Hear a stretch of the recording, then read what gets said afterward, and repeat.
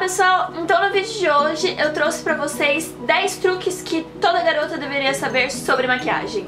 Então eu vou mostrar vários tipos de como recuperar um produto que já talvez esteja acabando, ou então um truque pra não deixar o seu dente tudo sujo, ou então algum truque pra facilitar, assim, alguma técnica, enfim, várias coisas legais que eu acho que vão ajudar muito, muito, muito vocês a fazerem a maquiagem de vocês no dia a dia ou pra um evento super especial.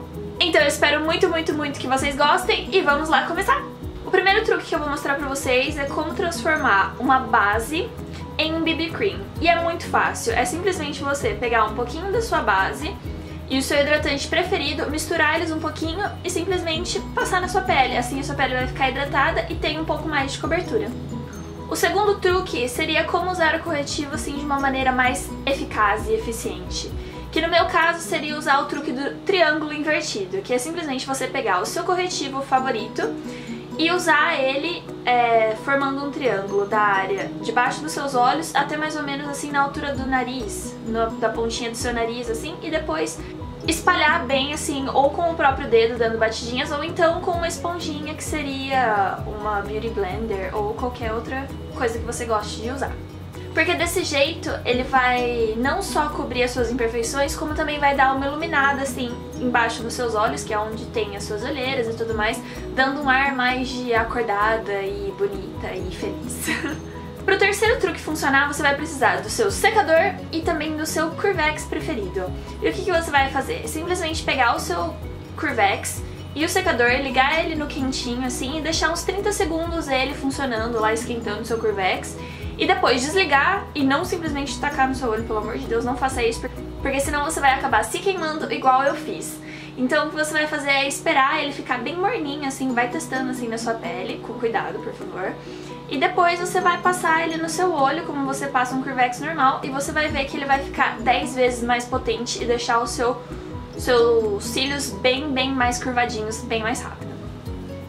Agora, continuando na ideia, assim, de ter uns cílios bem curvadinhos, estilo bonequinha, super volumoso e super longo, o que eu gosto de fazer é simplesmente pegar o pozinho translúcido num pincelzinho, assim, bem firminho, assim, um pouquinho só, e passar uma leve camadinha, assim, nos cílios com o rímel ainda molhadinho pra dar uma grudadinha. Daí depois eu simplesmente pego o meu rímel e passo por cima, porque assim o pozinho translúcido vai formar uma camadinha, como se fosse aquele rímel de fibras, assim, sabe? Que deixa super volumoso. É isso que ele vai fazer, só que de uma forma mais barata. Isso que vai fazer uma diferença enorme, deixando ele super, super volumoso. O quinto truque, você vai precisar de um isqueiro e do seu lápis que não funciona muito bem. Tudo que você vai fazer é simplesmente aproximar ele, não, pelo amor de Deus, não coloca fogo no seu lápis. Só aproxima ele por uns 10 segundos para ele dar aquela mornadinha e aquecidinha.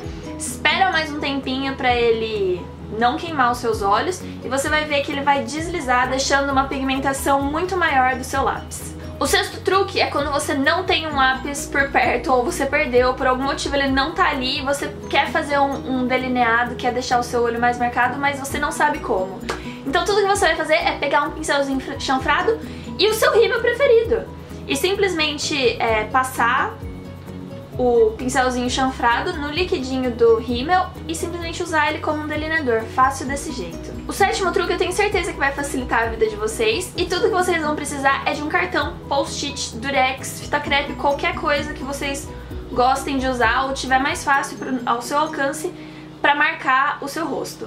Então você pode usar o cartão de crédito ou então um cartão de visitas, qualquer cartão que você tenha para marcar onde você quer fazer o seu bronzer, assim, deixar ele bem marcadinho assim, e depois só esfumar, ou então você pode usar um post-it para você simplesmente marcar o seu delineado e ele sair certinho, bem retinho assim, de primeira, para facilitar um pouco mais a sua vida.